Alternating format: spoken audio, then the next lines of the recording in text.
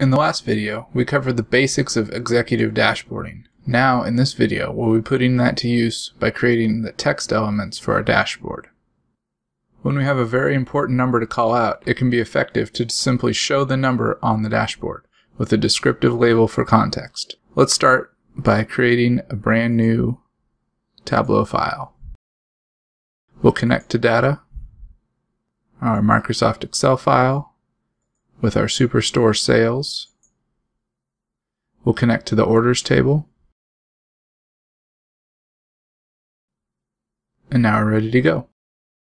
The first thing we'll do is to create a parameter. We need a parameter to allow the user to select which quarter they'd like to view. So right click anywhere in the dimensions or measures boxes and click create parameter. Let's name it report quarter and change the data type to date.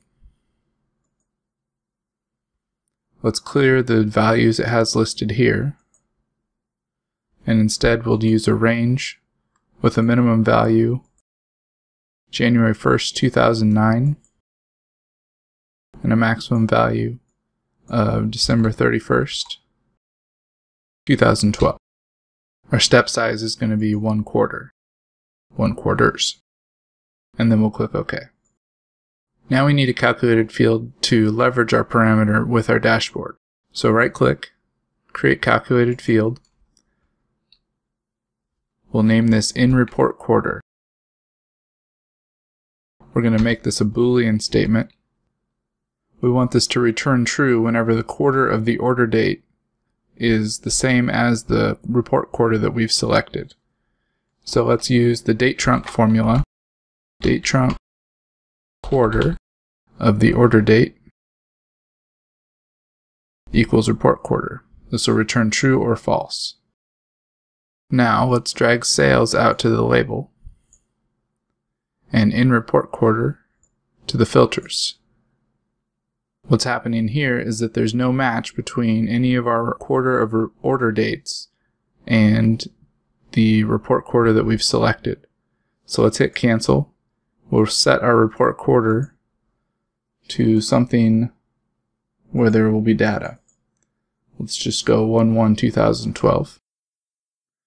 And then we'll try dragging in report quarter out again and select true. You can see our sales is now filtered down to just that one quarter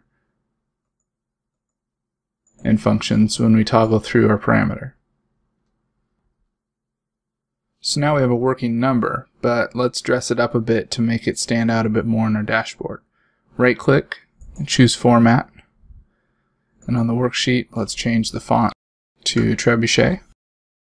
Let's make the font size, say 24.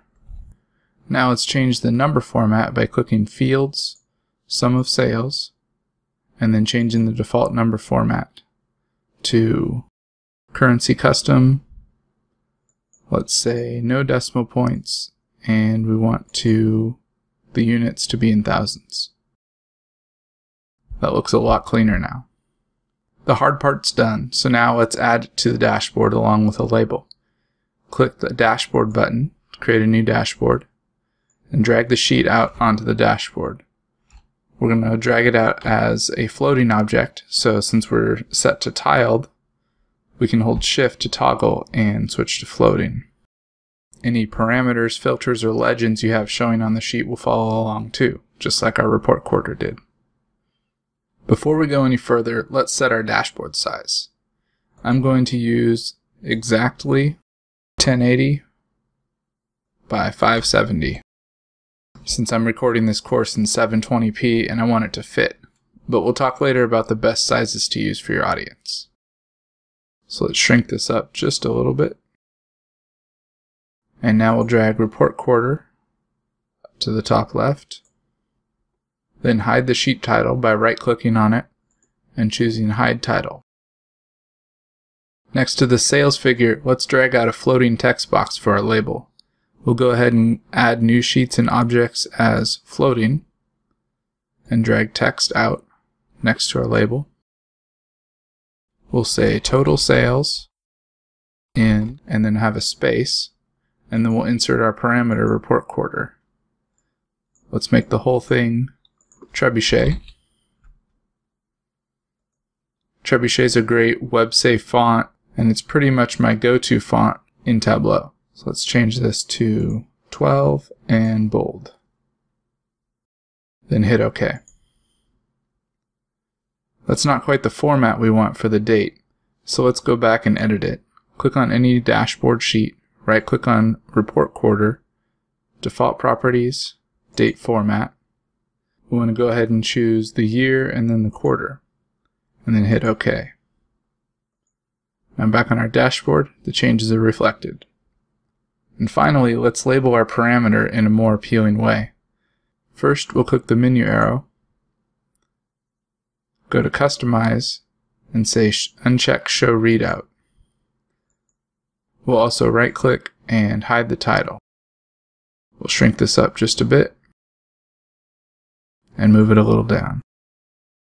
Now we'll make a new text box, and in here we're just going to put the report quarter.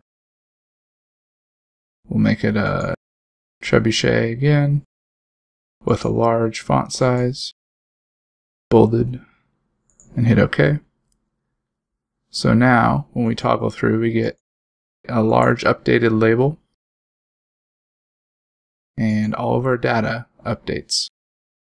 You can see we have a little overlap here, so let's account for that by dragging this over.